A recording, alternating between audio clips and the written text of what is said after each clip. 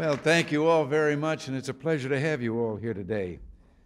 I know you've been through some fairly weighty briefings today, so I'll try to keep this short. Usually,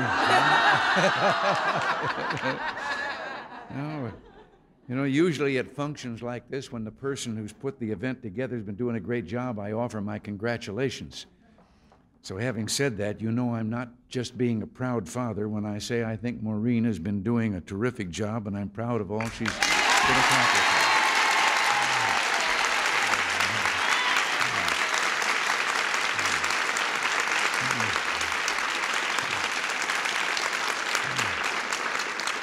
So even though he couldn't be here today, our thanks also go to Frank Fahrenkopf, our able, dedicated chairman. And, uh, today, we're all part of a coalition that will carry on the fight for our, our ideals long after this administration has ended. Republican women are playing a vital and indispensable role, and I just want to thank each and every one of you for what you're doing. You're here representing 45 states, and I hope after this conference you'll go back ready for action.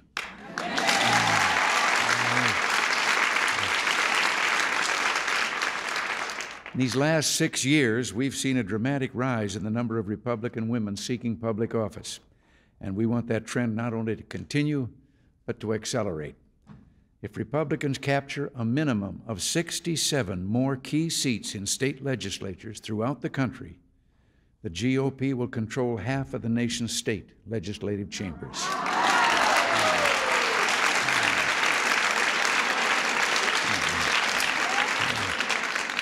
Now, it's imperative that we make these kind of gains before reapportionment in 1991.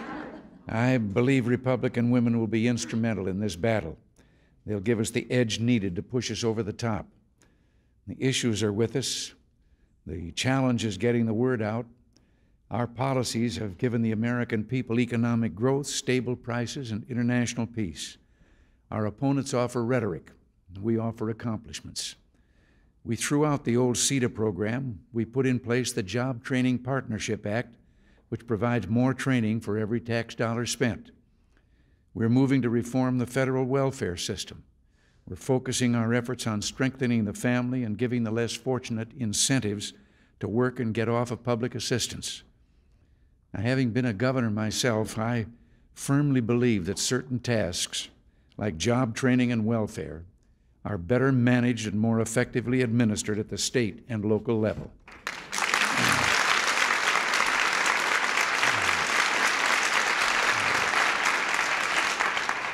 I remember my horror when I was governor at finding out that certain well intentioned programs for the needy had an administrative overhead of $2 for every dollar that reached the needy.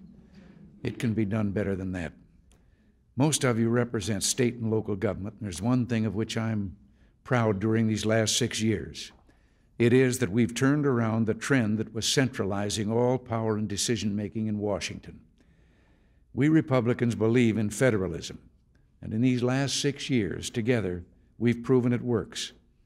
Our opponents still have a three part standard solution for just about every problem more federal controls, more federal spending, higher federal taxes. Nowhere is the difference between us more distinct than in education. The opposition would tax away local revenue, hand it back to local school officials, minus a carrying charge, and loaded with federal regulations. Uh, our approach has been to mobilize the American people, to encourage them to get out personally involved, demand higher standards, discipline, and education. I was recently at Tuskegee University, and by the applause I received, I'm certain they agree that it's time Americans stood shoulder to shoulder to get drugs off our campuses and out of our schoolyards.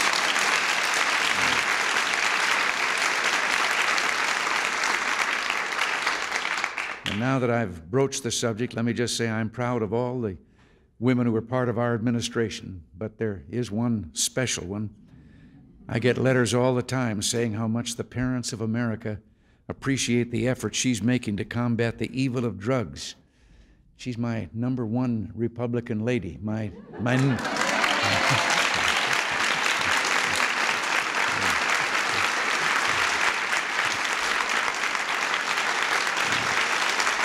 I think they've guessed too.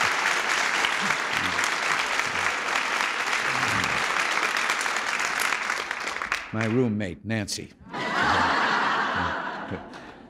Nancy came up with the phrase, just say no, when she was speaking with some youngsters in a school, and it's become the rallying cry all across our land. There are now more than 12,000 just say no clubs in schools across the country.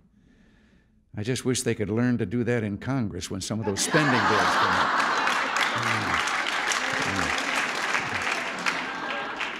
Challenges remain. Coming to grips with federal deficit spending is one of them. In these last 20 months, we'll be pushing for fundamental reforms that will get to the heart of the problem. The first would be to give the President what 43 governors already have a line item veto.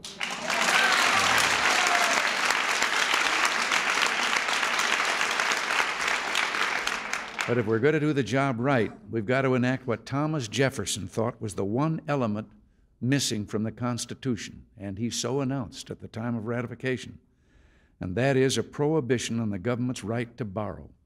In other words, a constitutional amendment requiring a balanced budget.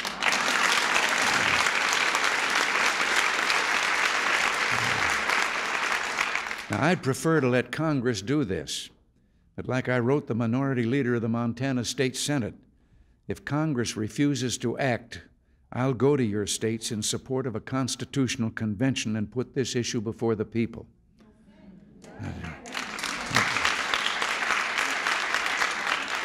When all is said and done, no one's family budget in America is going to be safe until we get the federal budget under control. Part of the solution, as I say, lies in fundamental reform. You know, I have to tell you, having been at the state end of it, there isn't a state in the Union that would put up with the Mickey Mouse operation that is called the budget process here in Washington. Let's not kid ourselves. It also depends on electing more responsible Republicans to the House and retaking control of the United States Senate.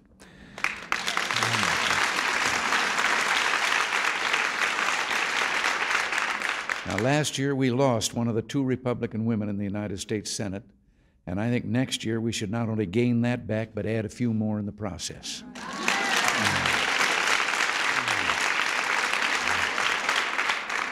Each and every one of you can play a key role in two ways.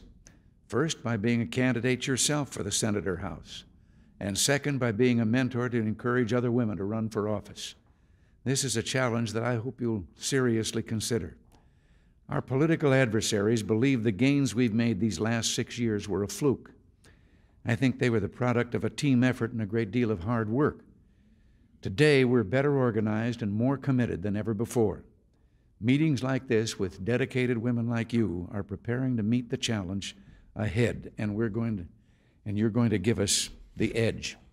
So I thank you again for all you're doing. We need your continued help and support.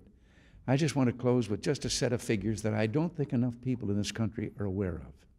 I know American people believe in fair things, being fair and so forth. And I also know that they believe in the system of checks and balances.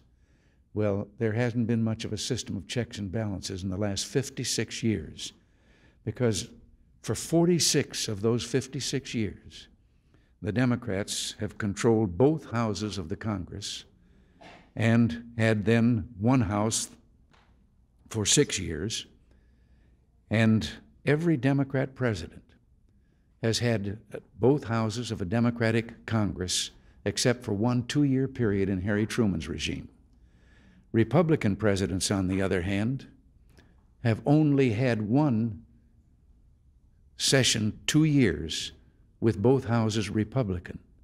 The rest of the time, and I've had six years of one house, uh, and now we're back to them having the two houses again.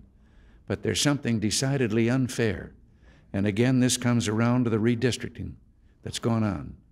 How many of you know that in election after election, more Americans have voted for Republican congressmen than have voted for Democrats, but they elect the majority?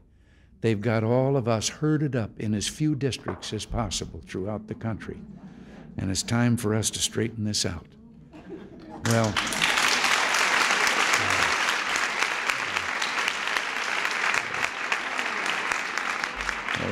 God bless you. And now, that's why we hurried through without shaking hands when we are coming through. Nancy and I are going down to the blue room there and uh, hopefully have a chance to greet each one of you and shake your hand. All right.